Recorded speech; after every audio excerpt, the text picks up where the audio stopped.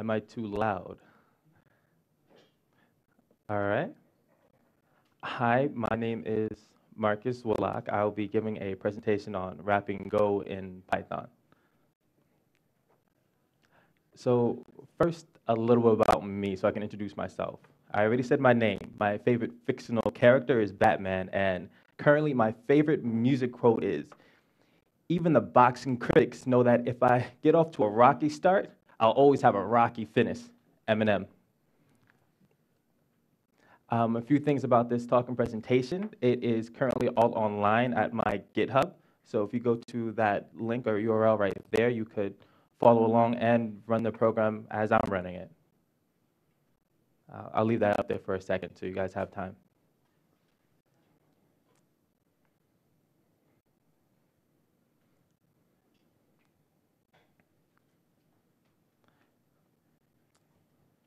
Everybody good? All right. So a talk overview. What I'm going to be covering in this talk is how to build shared objects in Go, calling shared objects, object files from Python, and testing out what is possible in this realm. And then I'll have some ending remarks. So that's just a general overview of what we're going to be doing today.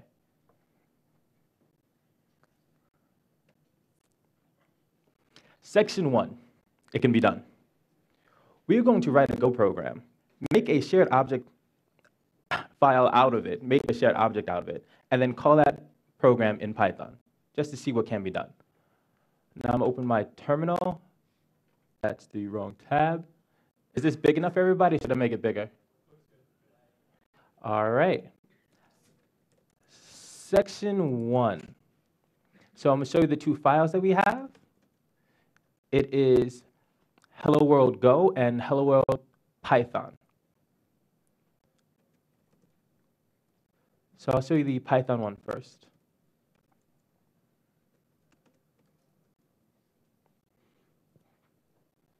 It doesn't do much. So it imports ctypes. Now, ctypes is a module that allows you to interact with foreign functions, and in this case, C we import OS so that we can find the path to the shared object file. We find the path, we load it. Uh, there are two different ways of loading shared object files. This is the method I prefer, ctypes.cdll, and then the path. And then we can call our, uh, we load it into lib, and then we can call the method that we exported. Now I'm going to show you the Go file so you get a sense of what's going on.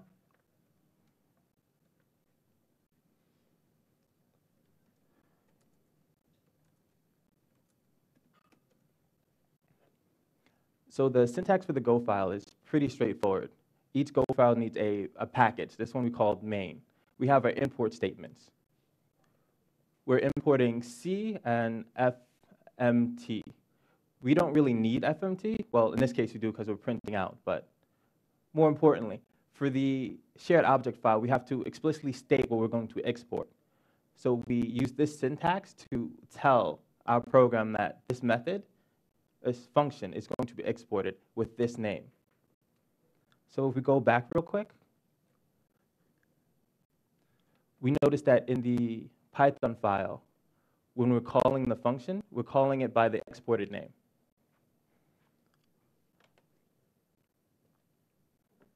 Now, I already went over a little bit of shared object files, but let me go more in depth on what they are. There are shared libraries, are libraries that are loaded by programs when they start. In terms of convention, these files are usually kept in a special place and given special names. You can read more about them at this link. Um, but for our purposes, we need to know that Go can build shared object files and that these files will end in .so. All we need to know for now. I already showed you the hello world file. Now, this is the build command. So the syntax is go build dot dash o, the name of the SO file, what do you want to name it as, and build mode is C shared, and then you have the source file, which is your Go file. Um, one thing to note is that as of Go 1.5, you're allowed to build shared object files. So any Go version prior to that, this is not possible.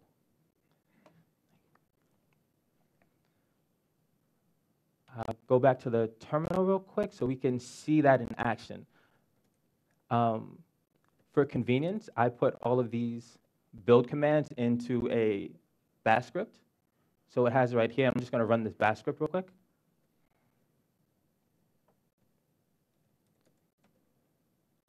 Oh, I'm not using Go yet. Uh, I'm using Go 1.6.2. I use GVM to manage my Go versions. And let's try that again. This time we get no error.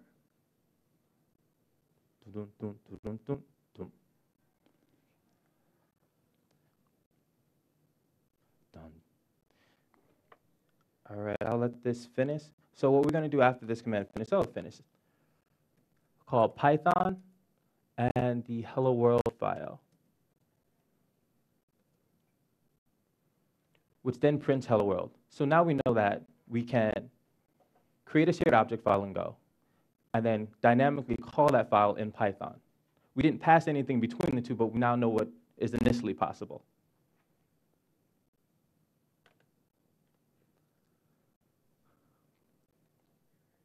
So let's go over the possibilities. Section two. Um, I'm going to try to pass some ints, strings, floats, booleans, lists, dictionaries, and see what sticks.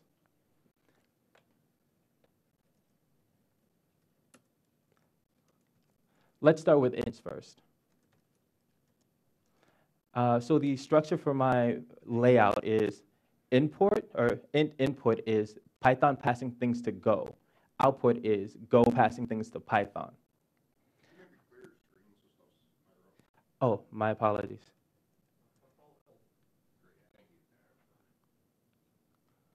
Uh, So I'm going to open the Python file to show you what it looks like.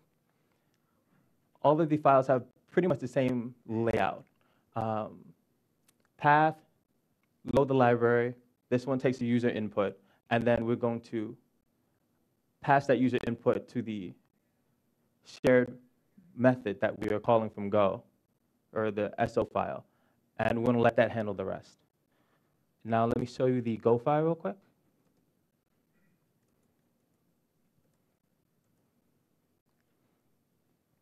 Here we have the signature where we're taking in an integer and then we're printing it out to screen. I already built these files, so I'm just going to run them. Int input. Anybody have a favorite integer? 55. 55. Ta-da! We just passed 55 from Python to Go and then Go printed it out. So we know that we can pass ints one direction. Let's try the other direction. So let me open the file just so you get a brief overview what the file entails. int output.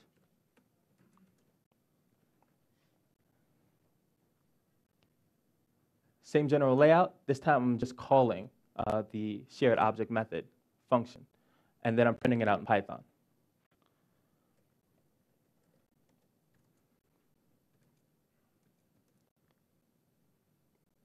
Hmm?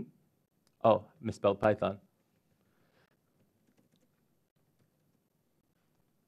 Another integer? I like that one. 42. So this time we just took an integer from Go and then passed it to Python to print it out. So that means now we can pass integers both to and from Go and, Py Go and uh, Python.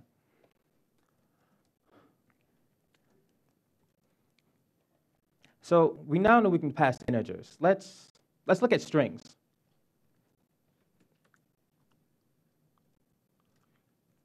So the file layout is pretty much the same. Here I did a number of attempts and I left them here so people can see my trial and error. But for the brevity of the talk, we're just going to go to the one that works. String input, and it's usually, it's always the last round.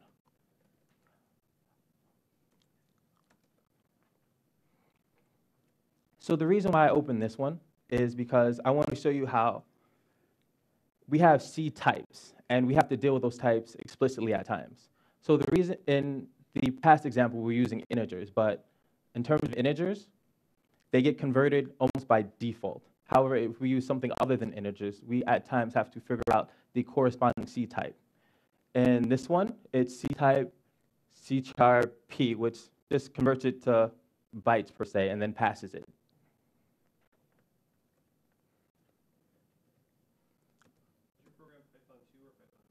Uh, Python 3. And let me clear the screen so you guys can.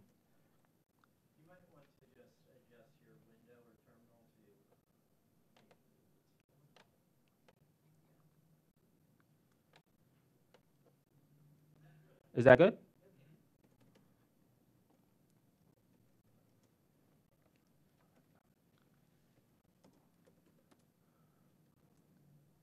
Input round three.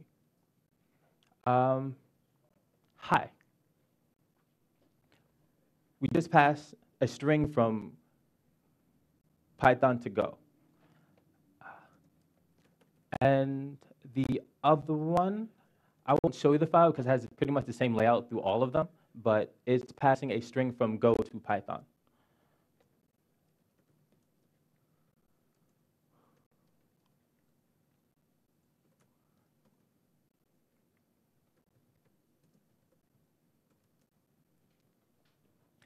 So when I noticed when passing strings from Go to Python are two things. One, actually I should open the file so you can have explicit. Uh, that's the Python file.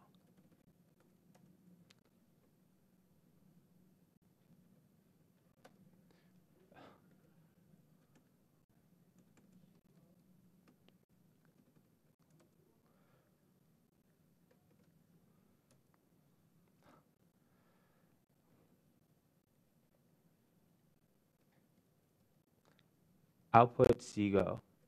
So the reason why that is called cgo is because in Go you also have to do some conversions from Go to C.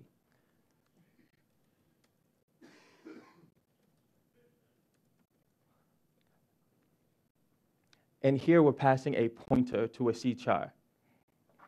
And to scroll down, you have to explicitly take a Go string and convert it to a C string before you can pass it in order for this to work.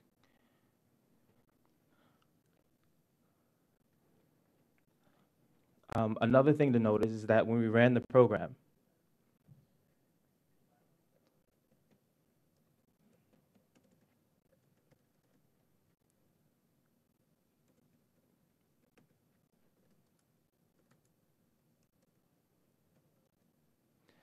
what Go returned to us was bytes. And then that has to explicitly be converted to a string if you want to use it properly.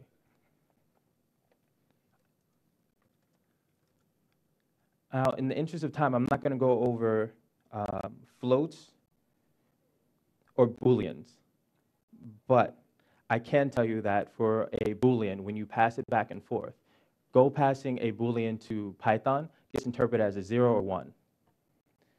In terms of floats, you can pass floats directly. However, you have to explicitly find the C type to correspond to what the Go is passing to you. Now, all this is great and all, but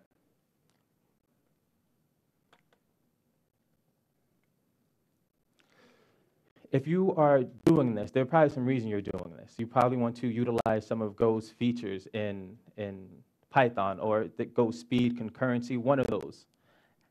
And you can do that. Oh, this is the wrong slide. So I have some contri contrived examples of that. One is a prime checker, and the other one is a prime counter. The difference between the two is that the prime counter uses Go's channels and Go routines to, and uh, thank you, I have one minute left, so I have to try to be quick. Prime counter uses Go's Go routines and channels in order to try to make the program run faster in a concurrent model. And prime checker is just a poor implementation of trying to check a prime.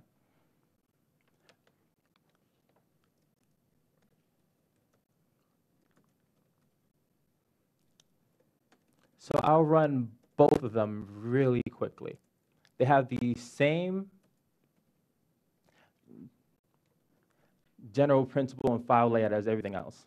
So prime checker, I just confirmed that I can check to see if it's a prime, seven. Run another number, let's do 100. Reasonably fast. One more. Okay, it's not a prime, but it went rather fast. And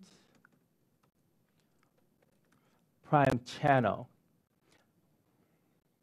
Let's go with all the primes under 4,000, 550. The reason why that ran so fast is because I was able to use Go's concurrency. Given the time constraint, I can't open the file, but I can remind you that all the source code is on my GitHub repo. Um, that is all I have for today.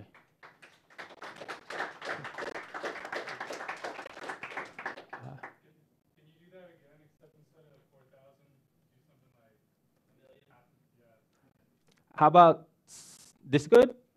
One more zero? Did you do Project Euler?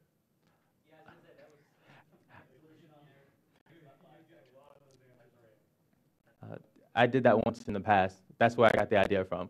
You in the front? I saw on the, uh, on your project record, you had .h files, is that just an intermediary build step, or do you have to define those as well for it to work? Oh, so the .h files you do not have to define. When you run the build command, uh, Go builds that for you, and it's just there.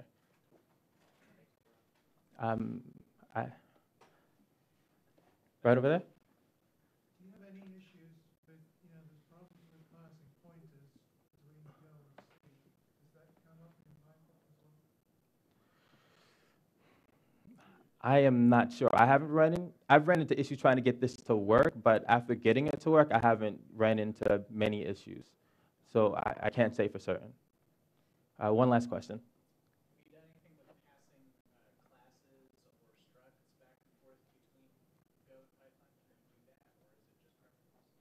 From my understanding, it is only primitives. If you try to pass a list or a dictionary, the error you get is it cannot be converted because it doesn't know how to convert it. Um, but if you find a way of doing passing structs or objects, please let me know. Um, that is the end of my talk. Thank you for your time.